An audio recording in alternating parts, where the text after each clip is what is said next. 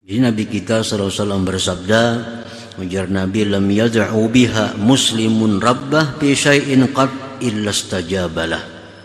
Tidak berdoa seseorang dengan doa itu melainkan Allah kabulkan hajatnya. Salli wa sallim ya salam ala nabi khairil anam wal ali Bismillahirrahmanirrahim.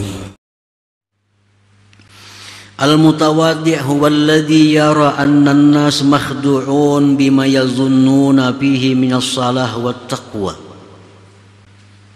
ولولا منع الشرع إظهار عيوب نفسه لأظهرها للناس من سوء باطنه وتقصيره في حق الله تعالى. Orang yang tawadu itu orang yang menganggap bahwa manusia itu tertipu dengan sangkaan mereka tentang kesalihanku dan ketakwaanku.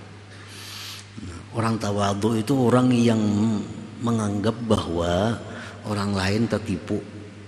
Melihat aku ini pina salih kelihatannya, pina takwa, tertipu mereka itu.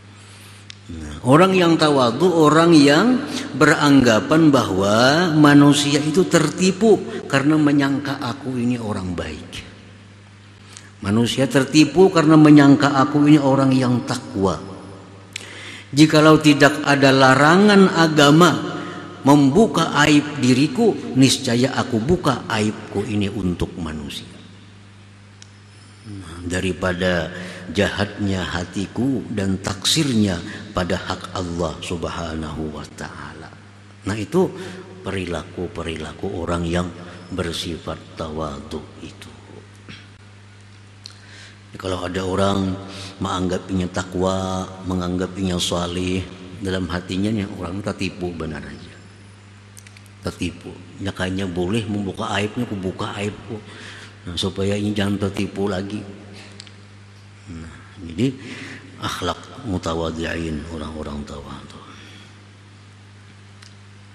Qala Abu Yunus bin Ubaidillah wa qadina sarafa min Arafat lam asyukku bir rahmah laula anni kuntu bihim. Ujar Abu Yunus begitu beliau pulang dari Arafat padang Arafah begitu pulang dari padang Arafah berhaji ini berhaji nah, pulang dari Arafah beliau berkata aku tidak ragu-ragu bahwa orang-orang yang di padang Arafah semua dapat rahmat andai kata aku tidak ada di sana. Hmm. Aku yakin orang yang di padang Arafah itu dapat rahmat Allah andai kata aku ada di sana. Nah berhubung aku ada di situ, aku jadi ragu. Apakah Allah memberi rahmat kepada mereka karena aku berada di tengah-tengah mereka itu? Nah ini contoh tawaduknya mereka menganggap dirinya lebih lebih hina daripada orang yang hina, lebih jahat daripada orang yang jahat. Nah, para muhibbin rahimakumullah. Nabi Yunus alaihissalatu wassalam berkata, La ilaha illa anta subhanak inni kuntu minaz zalimin. Nabi Yunus mengakui. La ilaha illa anta tiada Tuhan selain engkau subhanaka maha suci engkau ya Allah. Inni kuntu minal zalimin bahwasanya aku sesungguhnya termasuk orang yang zalim. Nabi ini Nabi Yunus beliau menganggap diri sidin itu orang yang zalim padahal sidin cuma satu kali berbuat hal yang tidak patut yaitu meninggalkan kampung tanpa seizin Allah Subhanahu wa taala. Itu aja. Beliau merasa bahwa beliau sudah masuk dalam golongan orang-orang yang zalim. Namun kita padahal orang zalim bisa sarik padahal hari-hari maksiat, hari-hari berbuat dosa, hari-hari sombong. Padahal orang zalim abang muha. Nabi Yunus seorang nabiullah yang mana beliau ini adalah seorang yang terpelihara dari dosa cuma berbuat hal yang tidak wajar beliau menganggap diri Sidin itu orang yang zalim La ilaha illa anta subhanak inni kuntu minal zalimin. Dan Allah menyelamatkan Nabi Yunus ini berkat pengakuan Sidin sebagai orang zalim itu. Allah suka kalau kita mengaku ya Allah hamba ini orang zalim nah.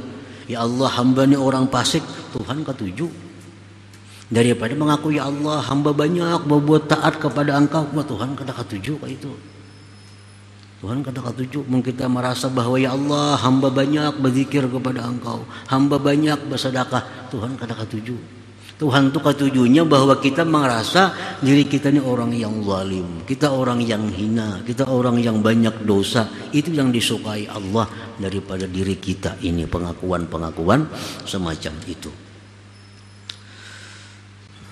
Jadi Nabi kita SAW bersabda Ujar Nabi lam yad'u biha muslimun rabbah bi syai'in qad illa istajabalah.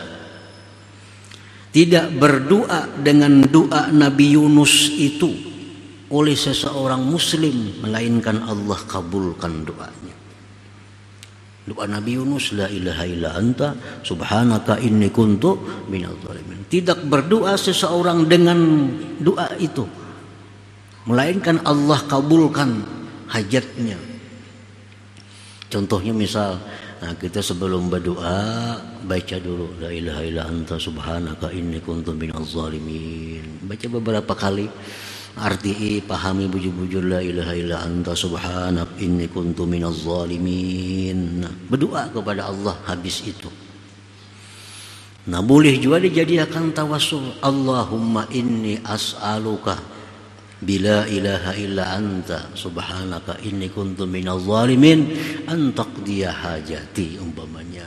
Ya Allah hamba minta kepada engkau dengan berkat la ilaha illa anta subhanaka inni kuntu minal zalimin maka tunaikanlah hajatku ini. Nah, tidak berdoa dengan doa Nabi Yunus itu oleh seseorang muslim melainkan Allah perkenankan baginya. Nah, karena Allah menyukai kalau kita mengaku zalim, Allah suka.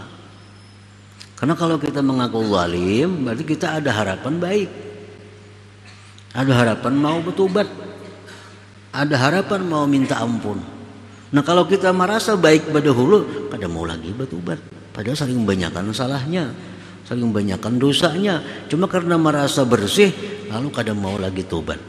Nah bila kita merasa zalim, kita merasa orang yang fasik, orang yang banyak dosa itu ada harapan bisa bertobat kepada Allah Subhanahu wa taala.